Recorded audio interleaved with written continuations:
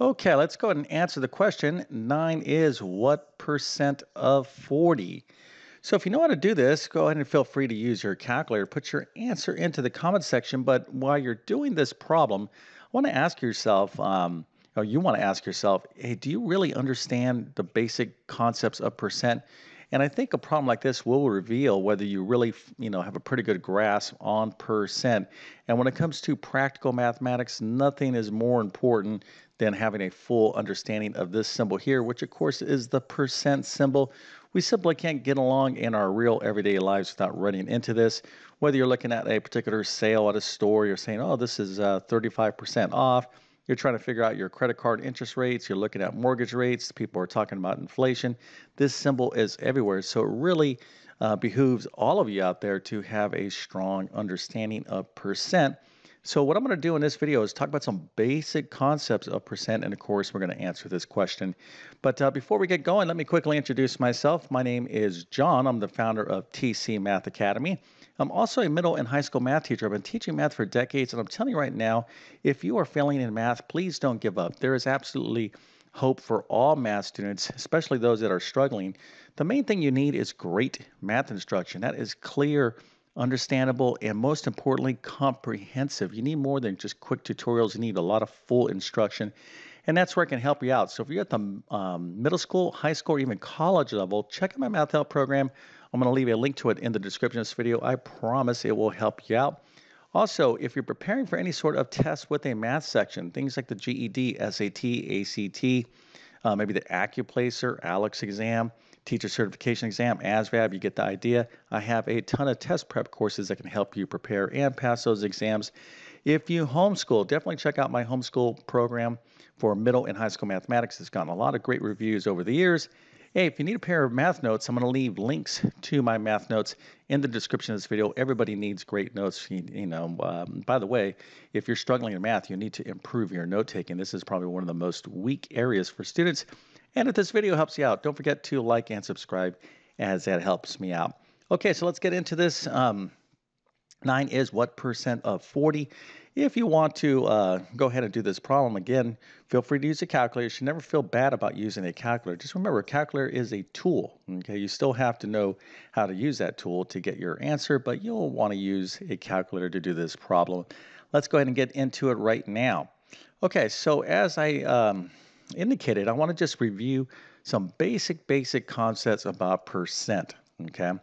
And basically, uh, when you think of percent, you want to think of a part out of a whole. Okay, percent is a part out of a whole. Okay, and the whole, by kind of like definition of the percent, is 100. So what we're doing is kind of expressing some part out of 100. And the way we do that is the following. Okay, so let's take a look at this little, think of this maybe as a fuel tank, all right? So we fill this whole thing up this would be at 100. Let's say we're at 21. Uh, that's some part of this tank.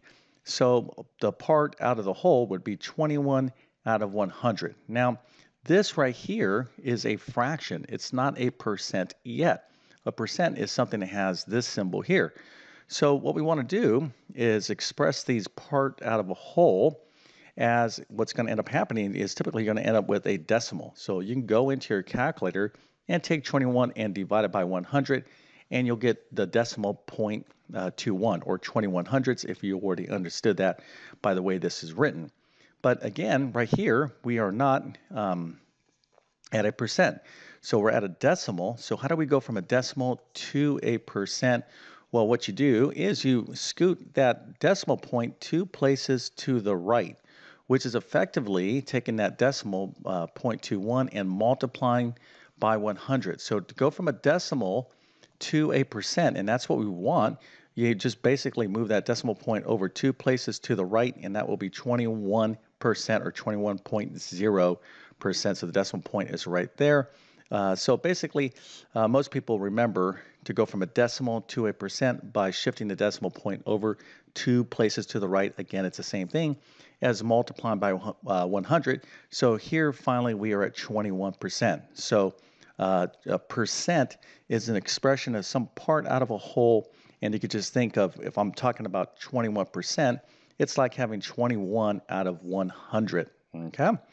All right, now, uh, as we indicated, we can go from a decimal to a percent, but as you do other type of percent problems, you need to uh, uh also remember how to go from a percent to a decimal. Okay, and what you're going to do there is the exact opposite uh, in terms of the decimal point. Instead of going two places to the right, you will go two places to the left. So if I want to turn 21% into a decimal, that's going to be 21 um, or 0.21. I'm going to take that uh, decimal point and right here, uh, just to be clear about it, if you have a number like 21 and you're saying, where's the decimal point? Well, it would be like 21.0.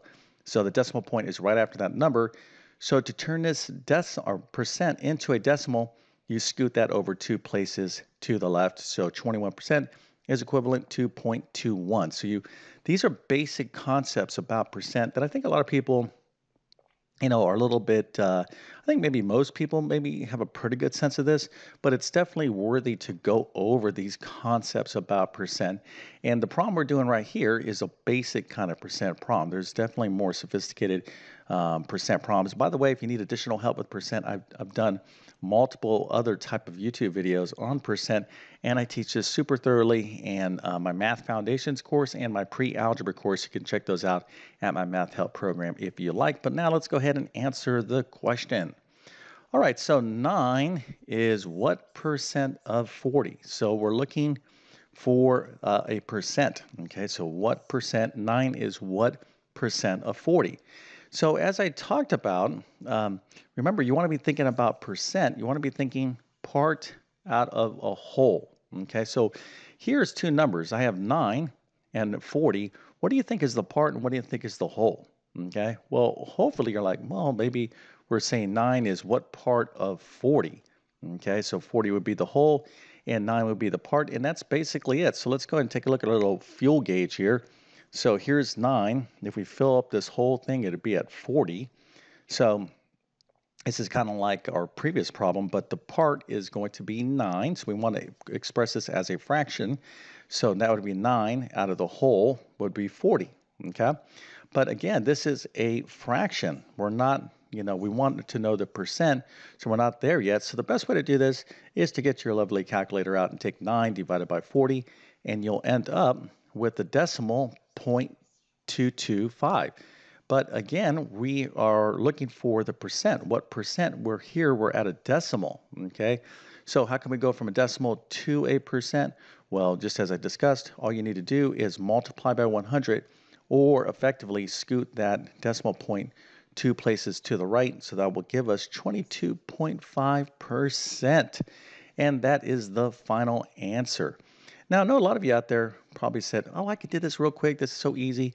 You drug this out. You made this a long explanation. Well, what I'm trying to do is to give you a big overarching understanding of percent so you can have a thorough comprehension and master this. Okay. A lot of students can kind of do things, they kind of remember the procedures, but they may not ex- know exactly everything that's going on about the concept. And hopefully, you know, I've increased your understanding a percent. But if you got this right all on your own, I must go ahead and give you a nice little lovely happy face and A++. plus plus. Let's throw in 130% and a few extra stars just to make you feel extra special today.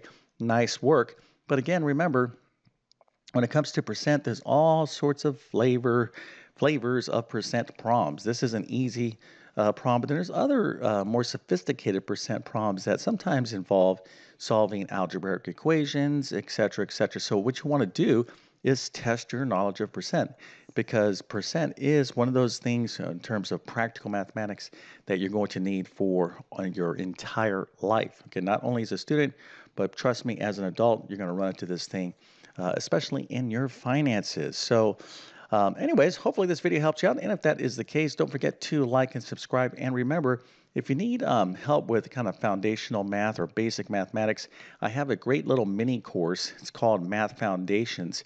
You can find it on my Math Help program under my middle and high school math section. And I think uh, pre-algebra, uh, of course, I teach percent in all my algebra courses, so you can cover that as well. So if you're in Algebra 1, studying percent, you can um, check out that program. But of course, it's in my pre-algebra program as well. Okay, so with that being said, I definitely wish you all the best in your mathematics adventures. Thank you for your time and have a great day.